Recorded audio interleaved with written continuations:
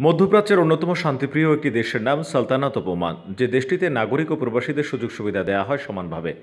কে নাগরিক আর কে প্রবাসী তা বোঝার উপায় নেই। দেশটির সরকারি আইনকানুন থেকে শুরু করে সরকারের দেওয়া অনেক সুযোগ সুবিধা নাগরিকদের পাশাপাশি সমানভাবে ভোগ করতে পারেন প্রবাসীরাও।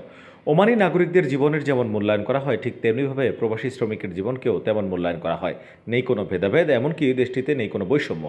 আজ দেশটির মাসিরা অঞ্চল থেকে একজন বাংলাদেশি প্রবাসীর উন্নত চিকিৎসার জন্য হেলিকপ্টারের সাহায্যে সুর হাসপাতালে এনেছে দেশটির রয়্যাল এয়ারফোর্সের একটি হেলিকপ্টার।